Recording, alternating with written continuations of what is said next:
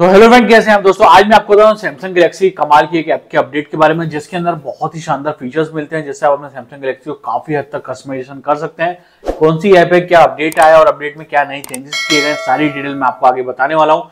आगे बढ़ने से पहले चैनल को सब्सक्राइब कर लो नोटिफिकेशन बेल आइकन दबा दो, ताकि ऐसी नई अपडेट आपको सबसे पहले मिले और हो सके। मुझे इंस्टाग्राम फेसबुक पे भी फॉलो कर लेना। चलते हैं दोस्तों आगे। मेरा नाम सनी और आपका स्वागत है मेरे चैनल ऐसे टेक दोस्तों जैसा कि मैंने बताया, मैं आपको बताने वाला हूँ कमाल की ऐप के अपडेट के बारे में तो उसके लिए जाना सबसे पहले आपको अपने मोबाइल के गलेक्सी स्टोर में चले जाना है।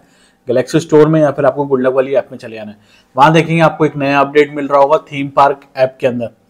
तो वहाँ पर आप देखेंगे आपको दिख रहा होगा थीम पार्क के अंदर नया एक अपडेट मिल रहा है। अभी अपडेट को रोल आउट किया गया नीचे की तरफ़ आएँगे तो इस अपडेट को रोल आउट किया गया आठ अक्टूबर को रोल आउट किया गया जिसका version number one point one point double zero point two three और इसका साइज़ है sixteen point sixty four M B का। अब यहाँ पर आप देखेंगे क्या नए चेंजेस किए गए। यहाँ पर उन्होंने लिखा है वर्जन नंबर यहाँ पर लिखा है improve improve visibility error after applying keyboard theme तो कीबोर्ड थीम अप्लाई करने के बाद कुछ विजिबिलिटी का एरर था, उसको यहाँ पर एक्टिवेशन किया गया है और कुछ इन्हांस ऐप को स्टेबिलिटी की गई है। तो जब भी कोई नया अपडेट आता है, कुछ ना कुछ थोड़े बहुत फीचर्स को अपडेट किए जाते हैं या कोई नया फीचर्स एड ऑन किया जाता है और साथ में उसकी स्टेबिलिटी और उसकी सिक्योरिटी को वहाँ पर इम्प्रूव किया जाता है और परफॉर्मेंस को यहाँ पर इम्प्रूव किया जाता है। तो इसको अपडेट कर लेना है अपडेट करने के बाद यहाँ पर ओपन करेंगे। तो नॉर्मल आपने अगर इसको फ़र्स्ट टाइम यूज़ कर रहे हो तो इसके अंदर आप थीम बना सकते हैं।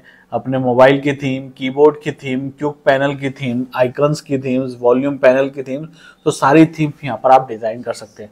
तो सबसे पहले आपको मिलती है थीम जिससे आप अपने मोबाइल की नॉर्मल थीम्स होती है ना, उसको डिज़ाइन कर सकते हैं। यहाँ पर जाएँगे क्रिएट न्यू पे।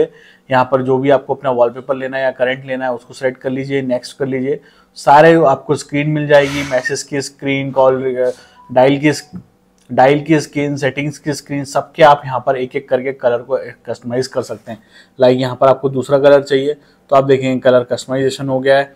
यहाँ पर आप कलर पे क्लिक करते जाएँगे, वो कलर वहाँ पर एड ऑन होता जाएगा। तो एक एक थीम को आपको बना लेना है, उसके बाद वहाँ पर सेव करने के बाद उसको आपको नाम देना जो भी आपको नाम देना उस नाम को देख के उसको सेव आउट कर लेना है। वहाँ पर जाके उसको अप्लाई पे क्लिक कर देना है, और वो वहाँ पर अप्लाई हो जाएगी। तो उसमें आइकन्स के कलर सब चीज़ यहाँ पर आप कर सकते हैं। उसी के बाद आएगा यहाँ पर कीबोर्ड जो कि जिसके अंदर एरर आ रहा है कीबोर्ड पे जाएँगे, यहाँ प्लस पे क्लिक करेंगे तो कीबोर्ड को पूरा कस्टमाइजेशन कर सकते हैं। यहाँ पर कौन से कलर में चाहिए, उस कलर को वहाँ पर आपने चूज़ कर लेना है लाइक ये वाले कलर में चाहिए, उस कलर को चूज़ कर लो, कैसे कॉम्बिनेशन रहे। यहाँ जो गोल गोल दिख रहे हैं ना, आप सबको एक एक करके चेंज आउट कर सकते हैं। जो भी कलर उसमें डालना हो ना, उन सबको वहाँ पर आप चेंज आउट कर पाएँगे, जिससे आप इजीली उसको अंडरस्टैंड कर पाएँगे कि क्या बता रहा है।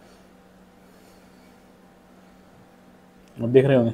ये हाईलाइट होता जा रहा है। जहाँ जहाँ मैं कलर को चेंज करते जाऊँगा, सब वो हाईलाइट होते जाएगा। ये इस तरीके से आप पूरे पूरे इसको कस्टमाइजेशन कर सकते हैं। इसको आप कहीं भी यूज़ करना हो, बाद में कुछ भी आप इसका यूज़ आउट कर सकते हैं। आप देख रहे हैं, इस तरीके से। और अगर आपको कोई फ़ोटो भी लगाना हो ना कीबोर्ड के अंदर तो फ़ोटो को भी यहाँ पर आप लगा सकते हैं।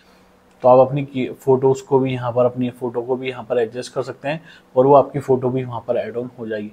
तो इस तरीके से आप अपने सैमसंग गलेक्सी में में कस्टमाइजेशन के लिए इस ऐप को यूज़ कर सकते हैं, जिससे पूरे आप सैमसंग गले को कस्टमाइज सैमसंग गलेक्सी को कस्टमाइजेशन कर देते हैं।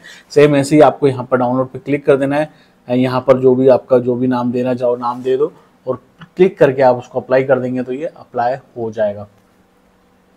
तो ये हो गया क्यूब कीबोर्ड उसके बाद ऐसे क्यूक पैनल पे आएँगे। तो क्यूक पैनल का मतलब ये होता है, ये क्यूक पैनल में आता है। तो इसको कस्टमाइजेशन कर सकते हैं आप, इसमें कौन सी स्क्रीन रहे, कैसा उसका लेआउट रहे किस बेस पे रहे तो वो भी आप यहाँ पर पूरी तरीके से कस्टमाइजेशन कर पाएँगे।